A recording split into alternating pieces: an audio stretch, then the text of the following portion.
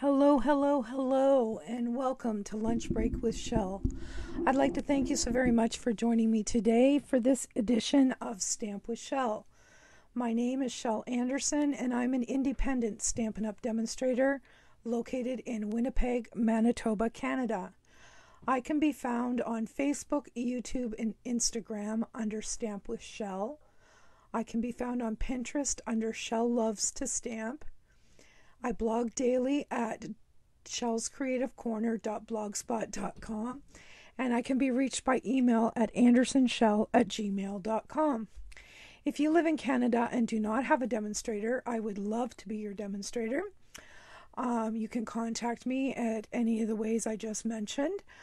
Um, also, note that I have weekly workshop orders that go in Monday morning at 9 a.m. Okay, that's the business end of it. Now we're going to get on to the fun end of it with today's card. Today I'm featuring a brand new stamp set coming in the January to June mini catalog.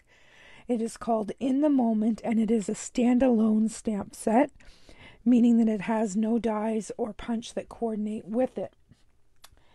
Um, it is found on page 57 of the new catalog. And this is a cling stamp set, so that's a red rubber with the cling on the back. All right.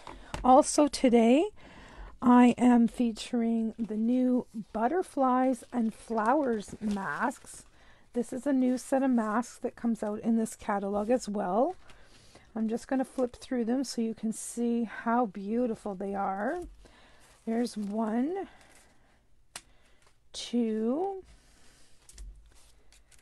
three,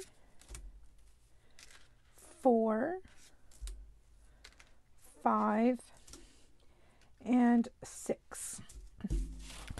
All right, so we're going to be using those as well. We are going to be using, oops, let me get these back in here. As well, we're going to be using some embossing paste.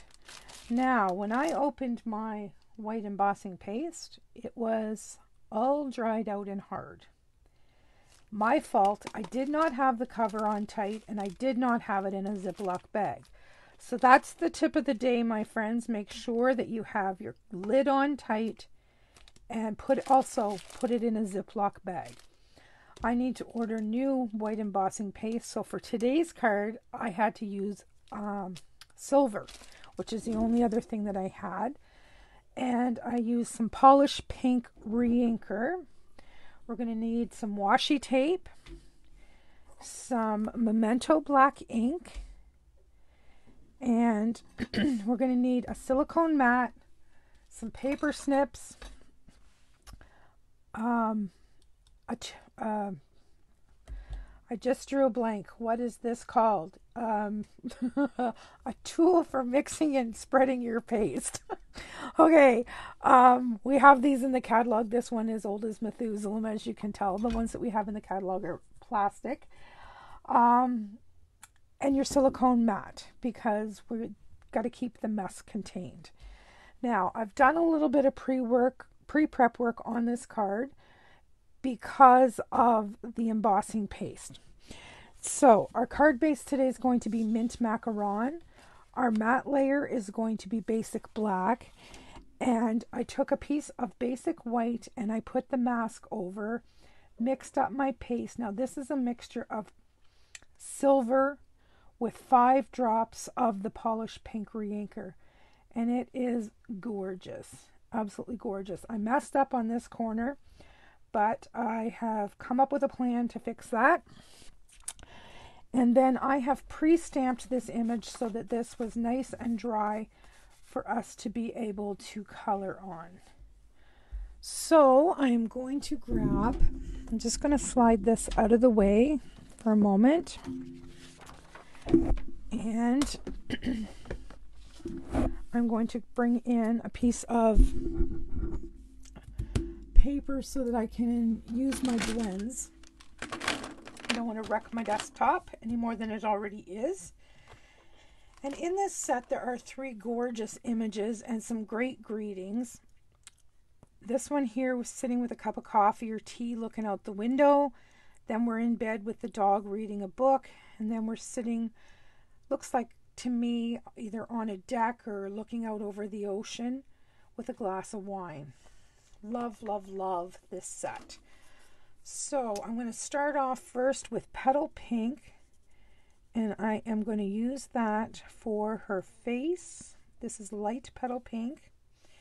And her hand.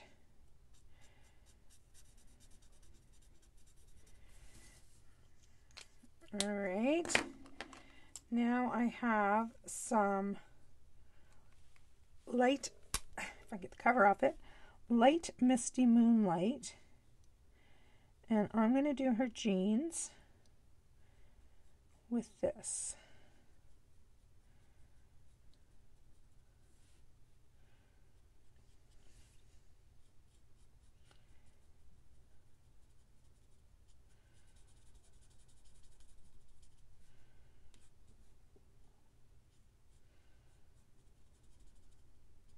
go.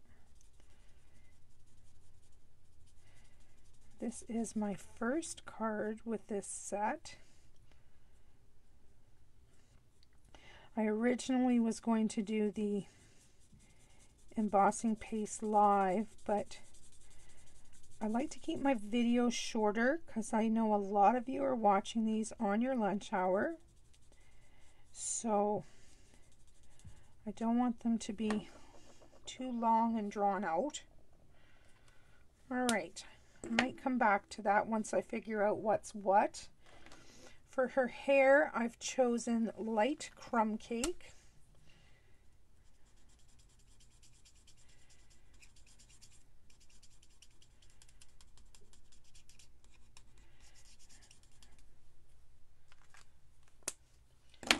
And for Fido here, we're going to use light and dark um, gray granite.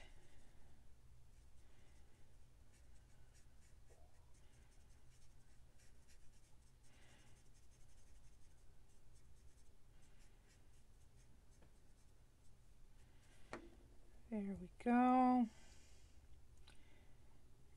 and we're going to use the dark on his face and ears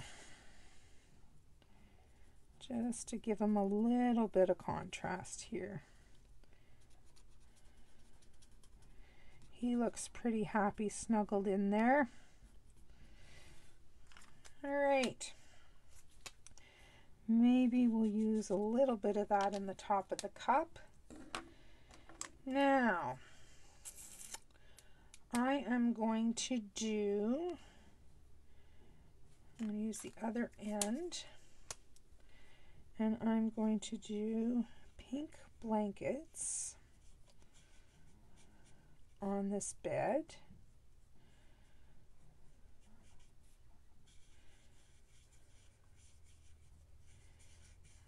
And there's really no rhyme or reason as to how I'm doing this. I'm just lopping on some color.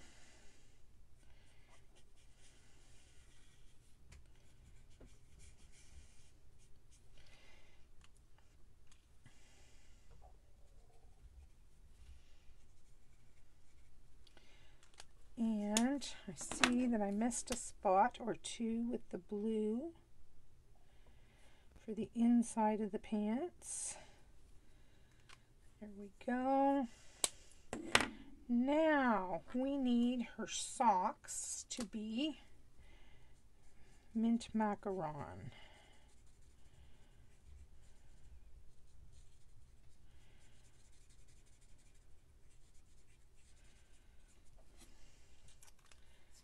And we need a different color for her book. Let's bring in some So Saffron for her book.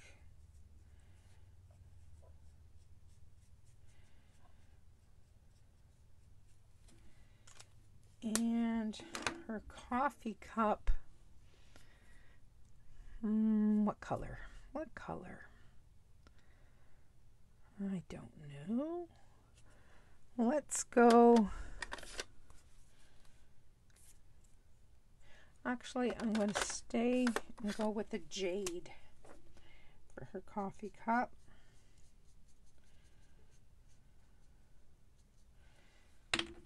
All right. Now, the pillows behind her head are also going to be pink.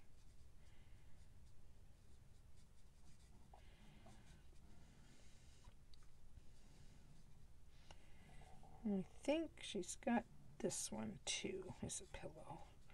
Or we're going to say it is anyway. Looks like a pillow to me.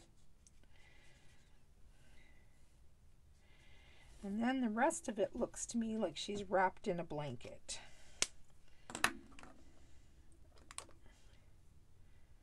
I missed a leg here on Fido. All right.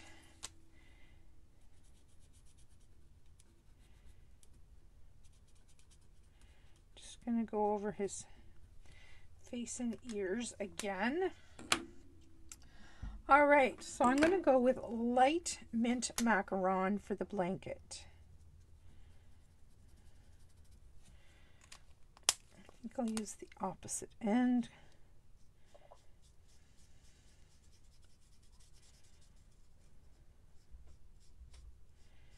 Just like so. I don't have my big head in the camera here. And then we're going to have blanket.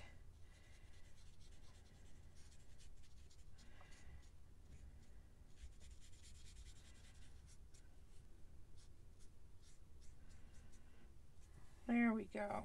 That looks pretty good to me.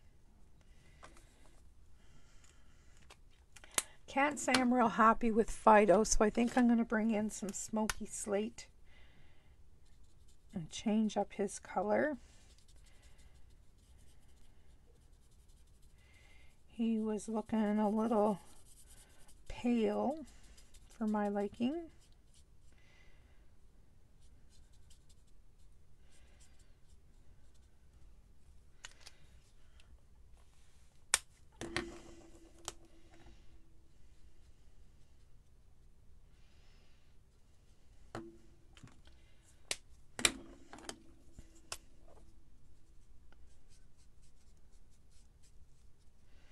There we go.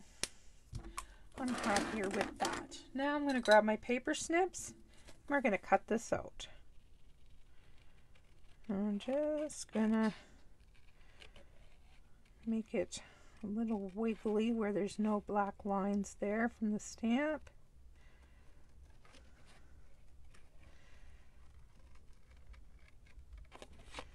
Get this cut out.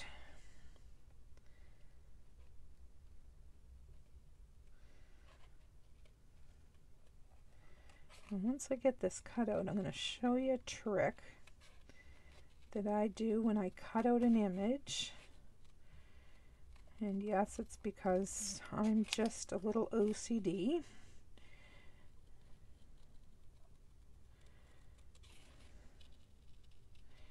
There we go.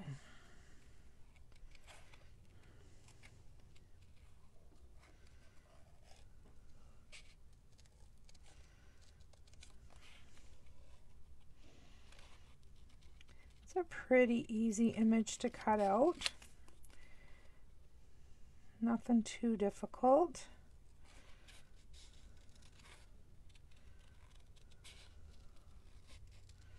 Turning our paper is the easiest way to have nice smooth transition lines.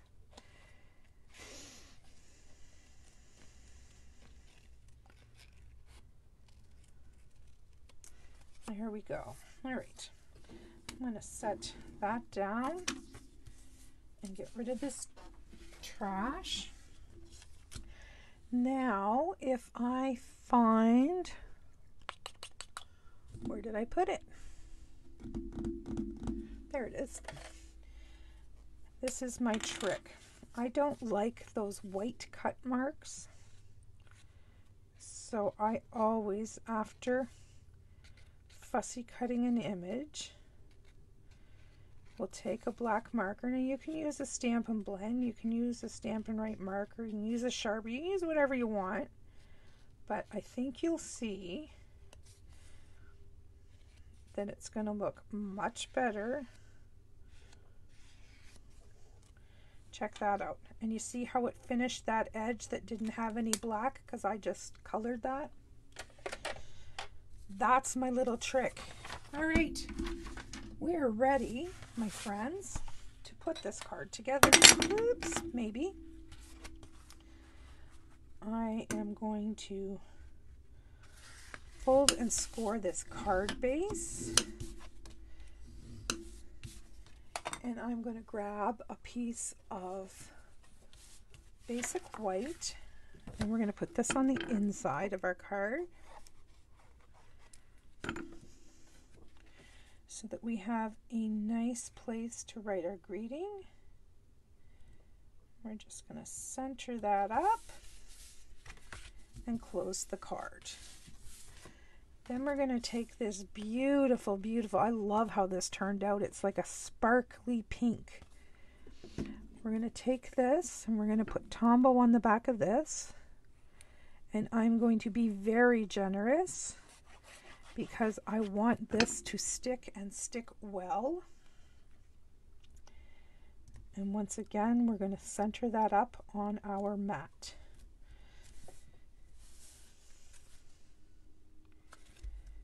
And I'm just going to turn this over give it a back rub until that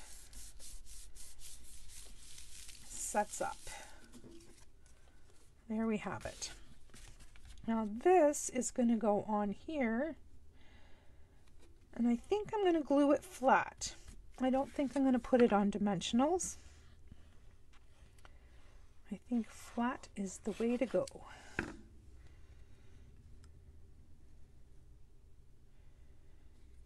Once again, we'll just slide that into place and hold it.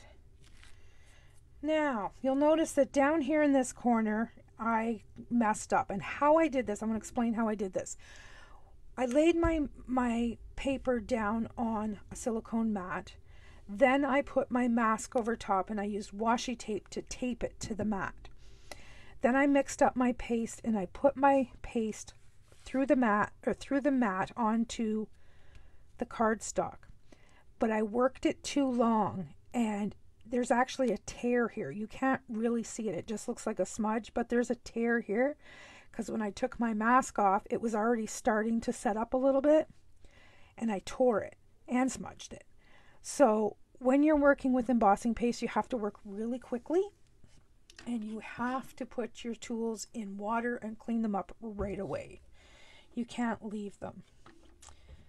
All right, see how that's going to make a beautiful backdrop for that? Love it, love it, love it. But I am wondering if I shouldn't change that color a little bit. I think I'm gonna I'm gonna go from the light to the dark so that it matches the cardstock a little better. I'm to flip over to the other end.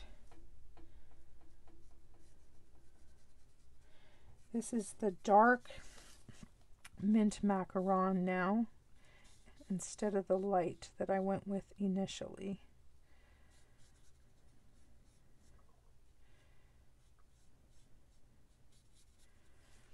I think that light was just a little bit too light.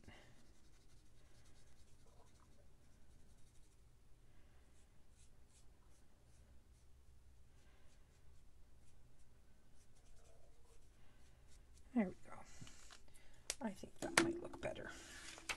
Let's pop this on here and have a look. Oh yes, I like that better.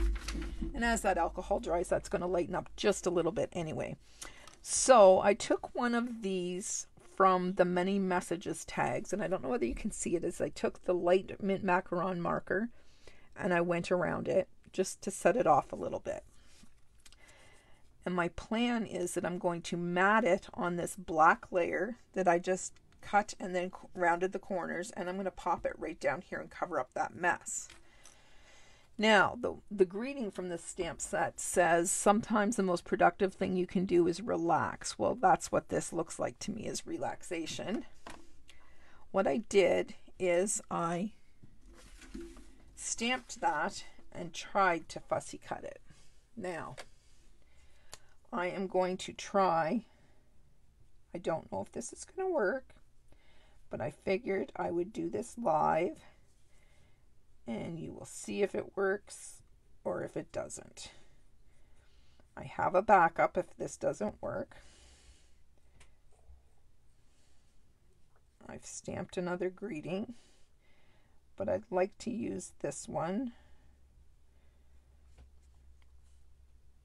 and hope this works. And the reason that I fussy cut this is because this greeting is a little bit big for that um,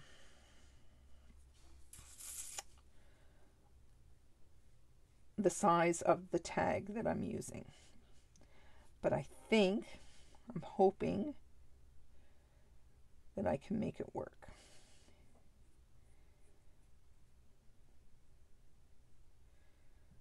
So I'm just going around the edges.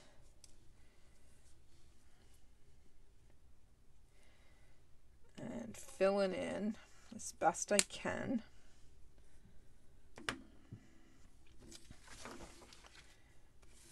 And this is my plan. The mat, this, and the relax over top. What do you think? I think it's going to be okay. Or should we just forget the relax and just just a card to say hello? I think I like this one. So I'm going to go for it. I am going to go for it. I'm just going to put some dots of Tombow on here. And hopefully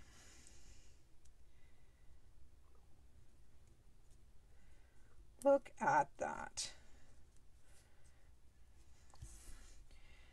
And then on here, layer that on that little mat that I made.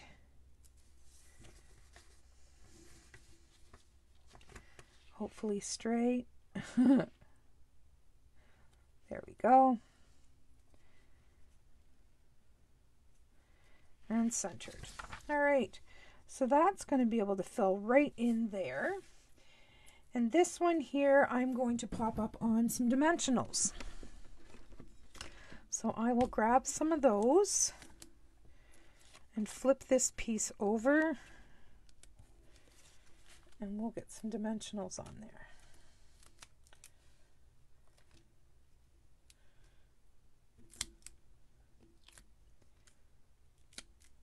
And I'm going to be very generous here because I want this well supported and well stuck because of um, all the paste that's on here.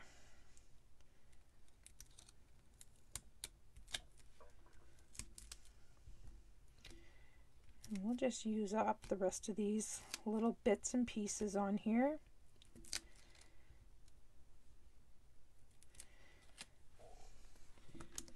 We're just going to pop this in place right like so. And then this guy is going to go flat down to cover up that little oops in the bottom corner.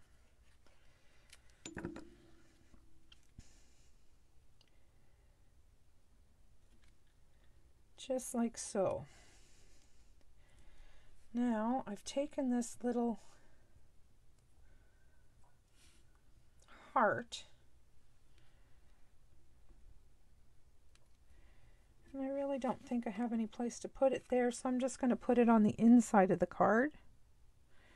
This was also from the tag die set. So I just put it in there at the bottom. And there we have it. And we're going to let the background shine in this card. Um, really, to put any more embellishment on there, I don't think you could put anything on there that would uh, make it any prettier than it already is, to be honest. This is beautiful. I hope you can see all that shimmer and, and shine. And it's very simple on the inside, but that leaves us room to write our greeting. All right, my friends, that is the In the Moment stamp set that is coming in January, page 57 of the new mini catalog. Thanks so very much for joining me, and I will see you back here Mondays, Wednesdays, and Fridays at noon Central Standard Time. Thanks. Bye bye.